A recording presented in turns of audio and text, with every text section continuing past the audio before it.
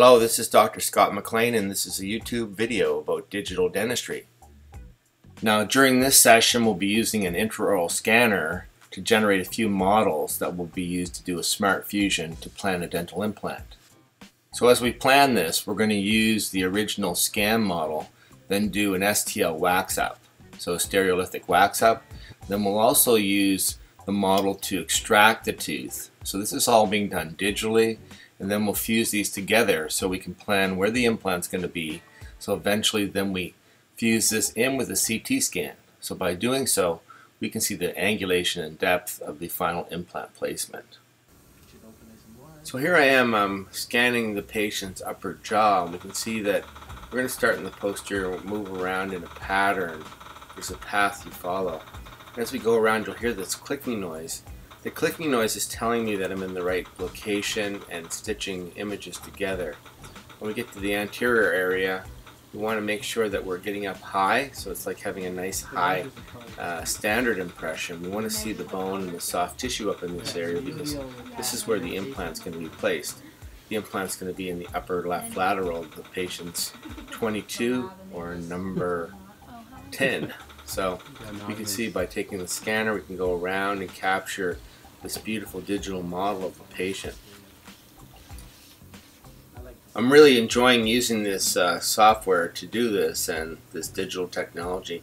And this is part of the digital workflow. So when the patient comes in, we take a CT, then we take this file, which is a proprietor file by the intraoral scanner, and we're going to put these two together by creating an STL file. So this file will be transported out of the software we can see on this uh, particular section that the lateral, the number 10 or 2-2, is actually a little bit protruded and not in the ideal position. So we're going to create a wax up digitally that's going to bring it back inside, then also cut the tooth. Look at this. This is what you can see. The actual color of the tooth is captured with this uh, Trios scanner. So what we can see is that the, the tooth is not in the ideal position. But this uh, color of C2 is what we'll use. And then we'll also be placing the implant to a depth that we can create the ideal emergence profile and also have uh, the same kind of look on the other lateral. You can see gold images look a little bit darker on this, but the porcelain looks great. So we're going to scan the opposing arch and then do an alignment, which is like mounting your models on an articulator. So here you can see and hear the sound when it, it occurs. You want to kind of pull this slowly forward from the back and uh, kind of stitch these two models together and you'll hear this kind of magic wand sound as they kind of find themselves. And this tells the lab where the two are going to go together. Once the models are aligned, then we can kind of look at the whole project together and see if we have to go back in and touch up any scanning. And then it's time to send it to the lab because we're going to send this off to the lab. They're going to help us in this case to do some of the uh, STL file. But very soon uh, we'll be able to do this in our own office and we'll be using the software uh, called Nobel Clinician to do that. So they convert it into an STL file which takes minutes, sending it back to us. So we'll have an alignment of a new tooth that looks great and so it's a new wax up, digitally done.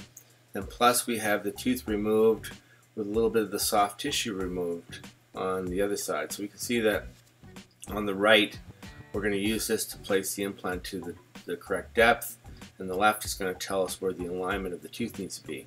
So we open up Nobel Clinician software. This is my planning software. We can see the DICOM image here, and this file is going to allow us to import this STL file. So this is the first one, and this is, has the, the, the missing tooth, which is going to be a digital scan. Then we're going to use a diagnostic scan as well. So here's the diagnostic scan which shows the wax up.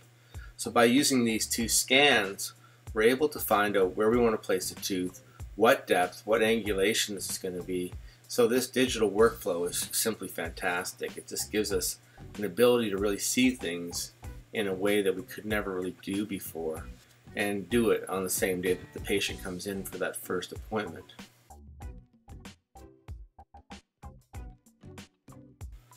Once the STL files are imported, which are really digital models, we can now check the alignment, which is an important step.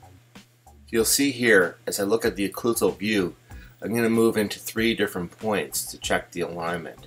So I'll move back to the molar area and you'll be able to see the soft tissue. You can also see uh, how this aligns on the lingual here and how it comes around the tooth. And you'll always see some scatter. So the scatter is coming because this gentleman has crown and bridge which has some metal. So we want to make sure the alignment is good. So you can also check the soft tissue to do so. So here we're checking the different levels. So one is going to be the wax up and one's going to be with the tooth removed. As we move forward we can see that this alignment is perfect and uh, very thin tissue on the facial which is very very typical. And as we move across we can see getting to the anterior area we'll be able to see that the wax up is actually not in the same position as the original tooth which is why we're doing this. We want this to be in a new position so we can see the soft tissue uh, when the tooth is cut away, and uh, but this is not in the same position. This is a new wax up. As we move to the distal aspect, we'll check the last area. So we want to check front, center, and back to make sure this is aligned so that when we're planning the, the implant, then this is going to be idealized based on this model. This model is where the template is fabricated. So this allows us to see the two that are aligned very well with the uh, DICOM image. So we want to make sure that those are aligned so that when we do the planning that everything is going to line up from a surgical point. Because this is going to be what we use to generate a surgical template which will be placing the implants. So we'll start to place an implant here. We're going to pick a NobelActive implant. So we'll go and pick a 13 millimeter implant and you can see when we align this we want to rotate around the implant. And when we do so, we're going to see that the implant is not in the correct alignment. So this would be a problem. So we're going to take it, move the red dot, so this tips the implant, and then the green square will bodily move the implant. So by doing this, we can position this implant visually, see that we have enough bone around the implant for this to be placed. This is going to be a narrow platform 13 millimeter long implant immediately placed. So we'll extract the tooth, put the template on, place the implant. Now that we have the implant in a close position, now we're going to finalize the position. So the position is going to be finalized by the free gingival margins. We look at the contralateral side, and then we decide that this is where we want the free gingival margin to be. So we rotate around, we want to find that point. So you'll see right here. So that little kind of uh, circle is going to tell me where my new free gingival margin is going to be on that number 10 or number 22. So as we draw a line tangential to this, we can see that we have then the ability to know that's the where the implant measurement is going to be taken from. If we measure from this line down to the top of the implant, we want to be at least 3 millimeters sometimes even 3.5, but 3 usually works fantastic and gives us the ideal emergence profile. So as we measure down, then we can then take the implant and submerge it a little bit more. So we'll measure this and we get this to close to 3 millimeters and right there. And so as we do this, this is going to tell us when we place the implant that this is the ideal position. Now we'll have to use a bone mill uh, when we're doing this because you can see the lingual bone is going to be thick. So we know automatically that this is what's going to happen. We click the depth button so it just brings the implant straight in. We're not moving the implant around. And this is allowing us to place this implant in an ideal position. So I'll move it from the buccal plate and you can see that we're actually getting close to the incisal edge when we do this. And that's not a concern because we're going to actually plan that as well. So we'll go back and we'll uh, just make sure that we have this line in the ideal position so we can just check and make sure that this is at the correct depth. So we'll move this up a little bit. We want to be 90 degrees and actually right to the top of the implant and we're measuring from that free gingival margin. So you can see now we're at the correct depth and it looks quite deep but this is where this implant needs to be uh, from a depth and angulation point which is critical for us to have the proper aesthetics and long-term function. So this is how I kind of do it. I've come up with this way and it tends to work very effectively to create the ideal aesthetics and emergence profile, which maintains bone and then prevents uh, problems for the patient. So if we look at this now, we can see that the ring is showing orange. It's because it shows that it's touching the tissue, not the bone or not the adjacent teeth. So what we're going to do is when we extract the tooth, this tissue will be out of the way. Plus we could flap, but we won't have to flap here. We're not touching bone or tissue, so this is normal to show.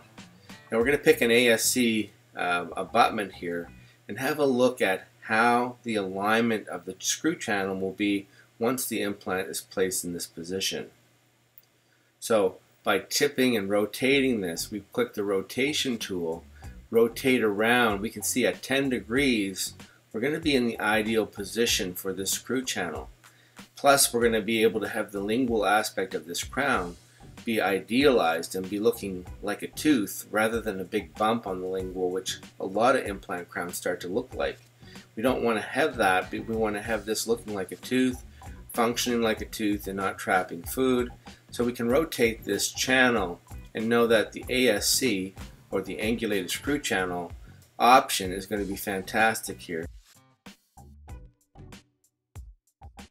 So we can rotate around, but we wouldn't want to do that. We want to have it right here. So this enables us to plan the surgery based on the prosthetics. You can see where the original tooth was and where the new tooth will be. We can see that they're not in the same position on this case because we wanted to move this tooth back in a more ideal position. So this shows me how thick the soft tissue is. Right here where the arrow is showing, you can see that this is going to show us exactly how thick the soft tissue is over the bone. And this, this guy has a fair bit of tissue, which is good. Now we're going to create a template. So the template fabrication, the computer will start to generate this template, which has a ring in it. And the ring is going to give us the depth and angulation that's needed to place this implant to that depth that we need to have the proper emergence and then have the proper aesthetics. So it's a very, very nice solution to kind of get the patient to where you want to go and it's certainly going to be something that makes it a lot easier. We can check with Oscar, who's this guy here, to make sure we're not breaking any of the rules Nobel Biocare's rules with uh, this template. And but we'll notice that the template will be fabricated. We have to approve it, so we have to take a visual look at this and say, yes, this is what we want. This is in the position where we want, and we're going to place the implant here. So it's a clinical decision made by the doctor and uh, can be helped by dental assistants or dental lab technicians or people like that. But I think that a doctor should always have a look at this, make sure it's where you want this.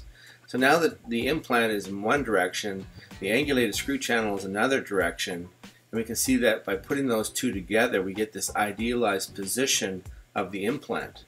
And uh, when this is all made, we can see that we have adequate bone on the front aspect of this, there's going to be a little spot that we have to do a little bit of bone grafting at the time of surgery. We know everything that we need. We know the implant's going to be a 3.5 by 13 millimeter long implant. We can temporize this because we've got a fair bit of uh, implant in the bone. So we'll prepare this to be adequate to really grab the implant at the time of surgery.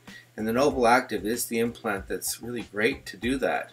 It's a great immediate placement implant. So we'll be able to get this temporized for this gentleman, which provides him with quality of care at the time of treatment and during treatment. So before he even gets his tooth, he won't have to wear a temporary partial. And that's very typical in this situation because that bone is, is still very hard underneath this tooth. Plus we can grab it with this variable pitch thread you see here. It's a very aggressive, large thread, so it grabs quite nicely when you prepare the bone adequately to put this in. So we get this all done and it's going to be a position of, uh, of uh, success and uh, you can see that the final uh, template is then going to be fabricated by Nobel Biocare, sent back to me in about four days and then we are going to start to be able to do the surgery. You used to have to take uh, models with PVS impression material. This is way better. So taking these STL files from the intraoral scan files is the way to go with this. Putting them in with the DICOM files is just just amazing. So it's really the digital workflow at its best. So this is Dr. Scott MacLean Follow me on Instagram at Dr. Scott MacLean or give me an email if you like this. And uh, certainly subscribe to this channel if you want to get free updates.